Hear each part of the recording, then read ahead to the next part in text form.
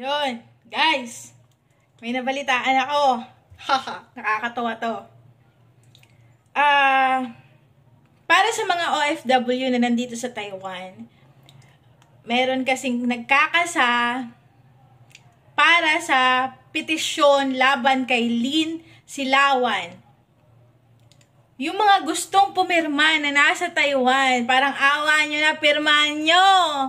Kung sino man yung kung sino man yung gustong uh, magbigay na humingi ng form na nandito sa Taiwan. Uh, isisend ko sa inyo yung kung sino yung ipipm nyo. Nakita ko lang to pinost ni Ma'am Chen merong petition for Lin Silawan. Yung mga gustong pumirma, pwede akong mag-send sa inyo ng form. Print out ninyo sa 7-Eleven. At isi-send back niyo sa akin. Go na guys! Excited yun! Sobrang excited! Alam mo, Lin, minsan kasi, ang pagiging gusto mong sumikat, pag gusto mong sumikat, dapat in a good way. Hindi yung putang ina mo, nang aano ka na, yung nagkakagulo na yung buong mundo, ayaw na nilang mamatay. Putang ina mo, putang ina mo talaga. Yung pagkain pa rin ng sardinas at pambalot ng sardinas yung pinoproblema mo. Mananampal ka pa ng Presidente Inday. Diyos ko, dahil pare-parehas tayo. Pare-parehas tayong ano eh, pare-parehas tayong OFW, pare-parehas tayong... Kaso lang nakakasakit ka ng damdamin eh, no? Ah, sino ba gusto sabihin mo nga sa amin, sabihin mo sa amin lahat, sino ba putang ina ka ang gusto mo maging presidente ng Pilipinas? Sino? Sino gusto mo maging presidente ng Pilipinas? Yun lang naman eh. Yun lang naman, yun lang naman yung ano, sino gusto maging presidente? At saka ano talaga yung pinopoint out mo sa pinaglalaban mo at saka sa pinaglalaban ng mga supporters mo.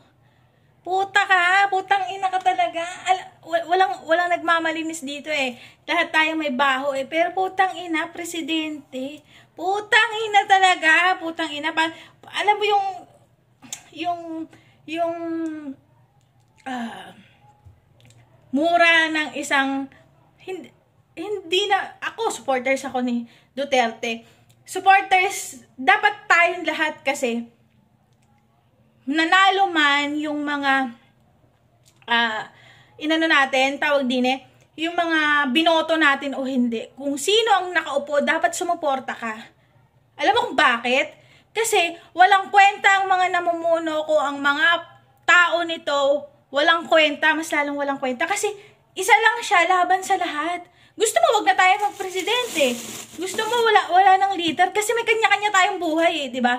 may kanya-kanya tayong rules sa buhay, hindi na dapat nga kailangan natin eh ng presidente, ng senator, ng kung ano-ano. 'Di ba? Kasi may kanya-kanya tayong buhay kasi nung nung niluwal tayo dito, wala naman yung presidente, wala naman yung senator sa mga paligid natin, 'di ba? Nung nung may desisyon tayo sa buhay, nung nag-abroad tayo, nung bumili tayo ng bahay, nung kumain tayo, hindi hindi naman tayo robot na, oh, ngayon ka lang mag-aasawa, o ngayon ka lang kakain, o dapat gantong oras ka, ganto, ganto, ganto.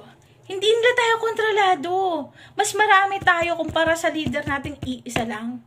Kaya putang ina mo, ihanda mo na yung sarili mo dahil isa ako sa manghihikayat na nandito sa Taiwan na ipetition ka. Hindi da, hindi tayo magkakilala eh. Hindi ako galit sa'yo eh. Hindi ako galit sa'yo personally. Hindi ako galit sa'yo dahil sa pinag sa buhay mo, kung ano, kung wala akong pambabash sa'yo, wala, hindi kita kilala, kung hindi kita kaano-ano. Pero, tang ina, tang ina mo, namamatay na lahat ng tao.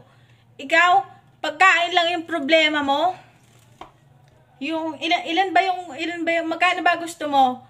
Pag i-donate namin sa'yo, mag, mag, magbibigay kami ng ano, ng pera, tigpipiso, pag uwi mo ng Pilipinas para kung sakaling makulong ka, may pangpiyansa ka. 'Di ba? Nakakairita ka eh. Nakakairita ka talaga. Alam mo yung yung nakakapang-init ka ng dugo. Nakakapang-init ka talaga. Ginagaya mo si Mystica. Bakit? Kaya, kaya, kaya, pa ba ng buto mo mag-split? No? Diyos ko, Diyos ko. Kung gusto mo sumikat in a good way, hindi sa pagbibenta ng shabu, hindi sa pagbibenta ng laman, at lalong hindi sa pambabash ng ibang tao. Kasi, Hindi kanya pinakaalaman nung nag-abroad ka, hindi ka hindi kanya kilala personally, 'di ba? Pasikat ka masyado eh. Uh, well, salamat sa iyo dahil dahil i-express namin na maka Duterte at saka yung may mga good mga mga gustong sabihin dahil sa iyo na-express namin din yung sarili mo. Katulad mo, in-express mo yung sarili mo, 'di ba? So, karapatan din namin mag-express ng sarili namin. Yun lang. So, bye-bye tayo. Ihanda mo na yung sarili mo. Kung gusto mo ng maleta, mag, mag ano ka lang, mag-post ka lang. Magdo-donate kami ng maleta para sa'yo. Baka hindi kasya yung gamit mo patungong Pilipinas. Do, baka hindi kasya sa eroplano sabihan natin si Duterte para dalawang, at saka yung gumagawa ng petisyon laban sa'yo. Hmm, wawa naman. So guys, let it be. Bye-bye.